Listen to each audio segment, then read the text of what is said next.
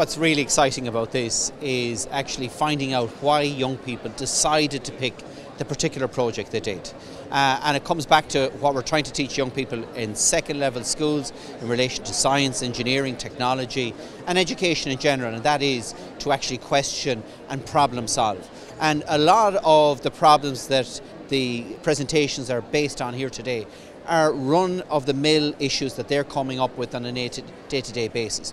Why are people not using public parks? What's the impact of the using using um, screens in relation to the development of young children? Issues they see in their day to day life. And I think that's what's really exciting about this is young people identifying an issue, exploring that and coming up with those conclusions and then what action can be taken on foot of those conclusions. I think it's very important, one, to see the way this has scaled up over the last number of years, but I think it's also important that we have a technology company involved, one of the biggest technology companies in the world uh, involved in this, because it's not just about science, about the methodology, about answering questions, but it's about exploiting the use of technology to progress those projects even further. And I think that's the great thing about having BT involved.